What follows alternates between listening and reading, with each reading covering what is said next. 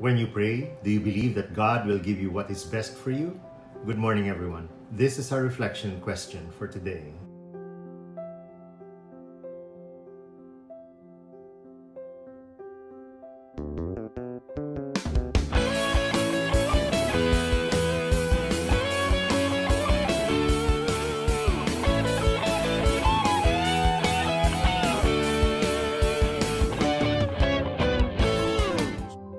Farmer from the US Midwest went to the bank to borrow money to buy seed to plant his whole farm in corn. He fired up the old tractor and plowed for many days. He cultivated the ground, he spread the fertilizer over the whole farm, and planted the corn. The rains came and the corn grew. In one day, millions of grasshoppers flew onto his property, and his precious crop was being consumed by the grasshoppers.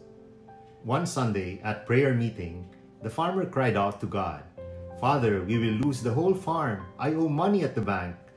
The farmer got up from prayer in great faith. As he walked home, his heart kept saying, Let the chickens out. Now the farmer pondered, How will letting the chickens out help me? The next day, the farmer was up at dawn. He opened the doors to the chicken house. The chickens came out and ate the grasshoppers. The chickens thrived there were many baby chickens hatched. The eggs were plentiful. The farmer started loading up the eggs and chickens and traveled the area selling the chickens.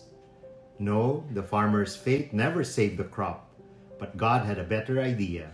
For several years, the farmer made his living from the chickens that God blessed. In today's gospel reading, a royal official asks Jesus to come to his house to heal his son.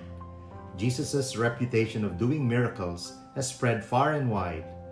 Jesus comes back to Cana where he performed this first miracle, and this official traveled 26 kilometers from Capernaum to Cana to meet Jesus.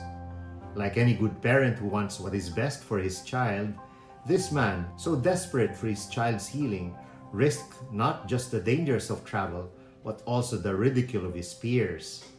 He spared nothing for a loved one. He did not send a servant, but came himself.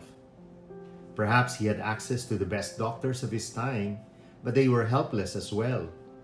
And speaking of doctors, they too believe that they can only do so much, but God will do much more. A survey conducted by the American Academy of Family Physicians shows that 99% of doctors believe a relationship exists between faith and physical healing. Recently, more than 1,000 healthcare professionals met at Harvard Medical School to examine the connection between spirituality and healing. A similar study by the Dartmouth Medical School examined the effect of prayer on healing when the patients prayed for themselves. The death rate six months after bypass surgery was 9% for the general population, but 5% for those who prayed for their own healing. And none of the deeply religious patients died during the period of the study. Today, we reflect on our situation and our need for God's miracles to turn our lives for the better. Do we believe and trust in a God who will respond to our pleas and cries? If yes, we must not feel disappointed or discouraged when after praying, we do not get what we want. For when we have lifted up our petitions to God, He will surely act in the best way for us, not perhaps in the way we expect, but in ways that will be better. It takes humility and faith to accept what the Lord has in store for us, even if it is not what we want. We do not just pray for our needs and wants, we must also pray for the grace of acceptance for whatever He will give us. As we kneel and pray, our hearts should already be disposed to believe that He works for the good of those who love Him. Habakkuk reminds us, the just shall live by his faith. The royal official expected Jesus to come with him to Capernaum, a day's walk from Cana, but was perhaps surprised when Jesus told him to go home as his son was healed. In a similar incident in the book of Matthew, a centurion asked Jesus for the healing of his servant. Both the centurion and the court official believed Christ's healing promise. The court official fully believed when he heard from his household that his son was healed. But the centurion believed before his servant was healed. Some of us need miracles to believe, but, as in Hebrews 11, to have faith is to be sure of the things you hope for, to be certain of the things you cannot see. That is why we always pray what the centurion said to Jesus in asking for healing for his servant during our Masses. And this is contained in Matthew. Lord, I am not worthy that you should come under my roof, but only say the word, and your servant shall be healed.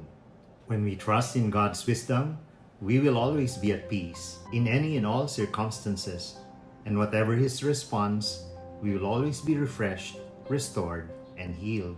Let us pray. In the name of the Father, the Son, of the Holy Spirit. Amen. Heavenly Father, may my faith bring me to the understanding that when I pray to you, I must leave everything up to you and trust that in your goodness, you will respond in the best way possible. This I pray in Jesus' holy and mighty name. Amen. In the name of the Father, the Son, and the Holy Spirit. Amen. God bless your families, brothers and sisters. God bless our Catholic faith and couples for Christ.